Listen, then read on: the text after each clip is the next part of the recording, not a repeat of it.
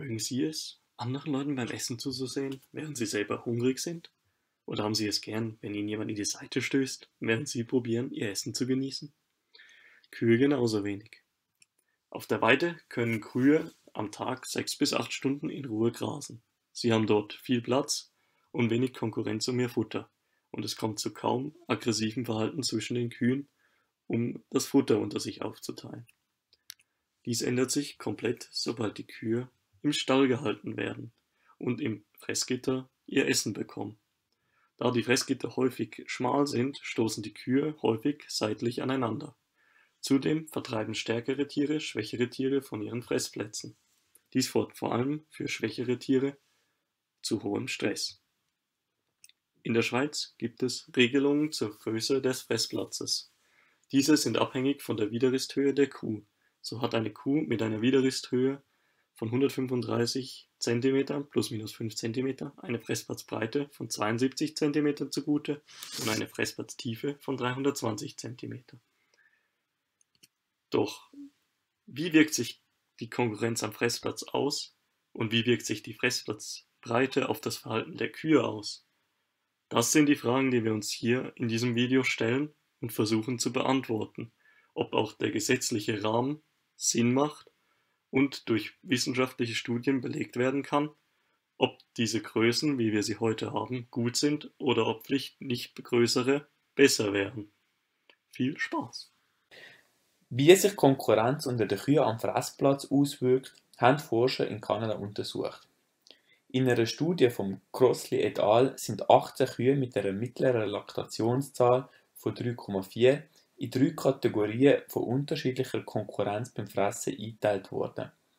Eine Kategorie mit keiner Konkurrenz, wo jede Kuh ihren eigenen Fressplatz hat. Eine Kategorie mit mittlerer Konkurrenz, wo zwei von drei Kühen einen Fressplatz haben.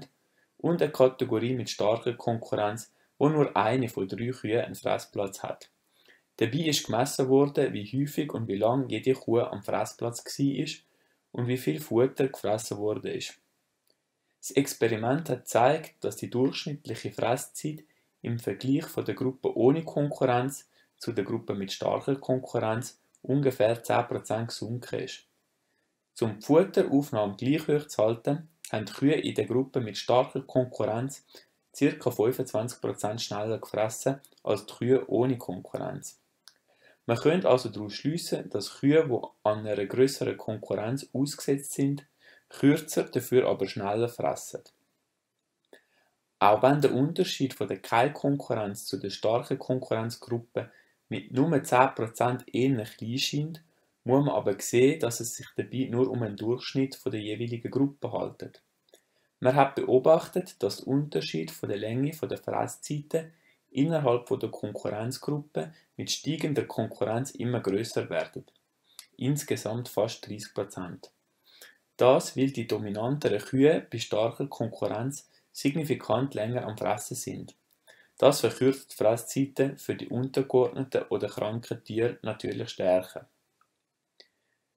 Wichtig dabei zu wissen ist, dass die Aufnahme von viel Futter in kurzer Zeit den pH im Pansen senkt. Darum hat das auch negative Auswirkungen auf die Pansengesundheit. Der Grund dafür ist eine reduzierte Speichelflussrate. Die wird nämlich durchs Kauen angeregt und wirkt als wichtiger Puffer im Pansen. Abschließend kann man sagen, dass Kühe mit keiner Konkurrenz am Fressplatz länger und langsamer fressen. Das erhöht Speichelfluss und verkleinert das Risiko von einer Pansenazidose. Der Effekt ist umso wichtiger für die schwächeren Tiere. Im Jahr 2006 erforschten De Vere et al., ob mehr Platz am Futtertrog aggressives Verhalten der Kühe beim Essen vermindern würde dies wurde erforscht, weil mehr und mehr Forschungen den Verdacht hervorbrachten, dass mehr Platz am Futtertrog den Wettbewerb vermindert und die Futteraufnahme vergrößert. Sie benutzten 24 laktierende Milchkühe für ihr Experiment. Die Kühe wurden in drei Gruppen unterteilt. Die erste Gruppe hatte nur 0,64 Meter Futterplatz pro Kuh zur Verfügung, die zweite Gruppe hatte 0,92 Meter und die dritte Gruppe hatte 0,87 Meter, jedoch mit zusätzlichem Abtrenngitter zwischen den Fressplätzen. Die Durchführer des Experiments ließen die Kühe während drei Tagen an die Umstände gewöhnen und haben dann während sieben Tagen die Messungen durchgeführt. Die Kühe wurden von Kameras aufgezeichnet. Aggressives Verhalten war, wenn eine Kuh die andere beim Fressen störte, so dass die gestörte Kuh den Kopf komplett aus dem Fressgitter zog und somit aufhören musste zu fressen. Sie beobachteten ebenfalls, wo am Körper die Störung der Kuh stattfand, ob am Kopf, am Rücken oder von hinten. Ebenfalls wurde evaluiert, wie lange die Kühe damit verbrachten zu fressen oder herumzustehen. Die meisten Störungen fanden an der Vorderseite der Kuh statt.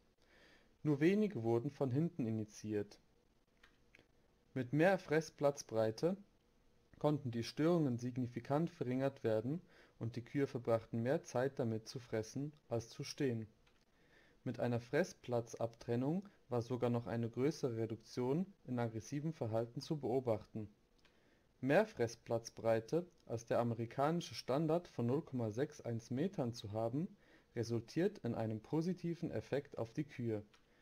Die Schweizer Standard von 0,65 Metern ist nur leicht darüber aber diese Studie zeigt, dass auch hier signifikante Vorteile erzielt werden können mit mehr Fressplatzbreite. Des Weiteren tragen Fressplatzabtrennungen sehr stark dazu bei, das aggressive Verhalten zu verringern